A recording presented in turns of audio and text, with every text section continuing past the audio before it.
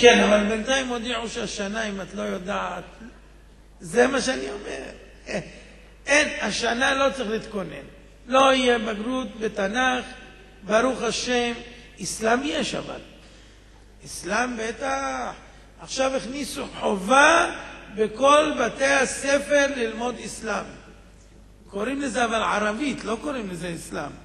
קוראים לזה לימודי ערבית חובה.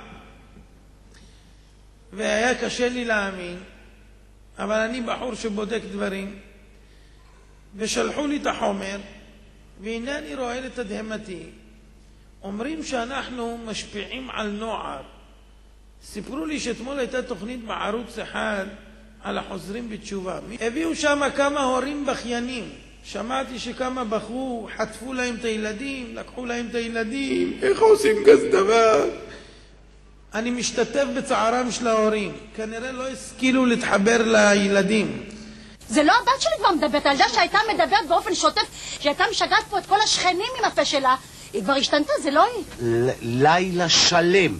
מכניסת השבת, מחזרה מבית הכנסת, מכניסת שבת ועד צאת השבת, שזה למחרת. וקורה וקורה וקורה. סופיה מאלר חונקת גם היא את כאבה. כבר השלימה עם הטרגדיה שלה. הזוג מאלר רואה לעצמו שליחות במאבק נגד ההשתלטות החרדית. אצלנו הלמידה של הנושא היא באה מתוך איזשהו כאב פנימי, וייתכן מאוד שזה הכוח המניע באמת. הוא כל היום אומר, זה בלי סוף.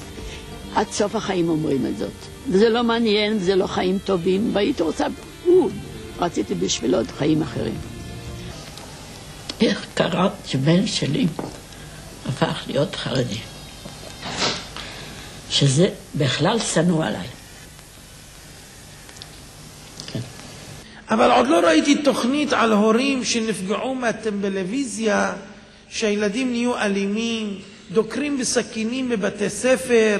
לא ראיתי תוכנית של הורים שבוכים למה הילדים שלהם עכשיו הולכים למסיבות אסיד בגלל הפרסומים שיש בטלוויזיה.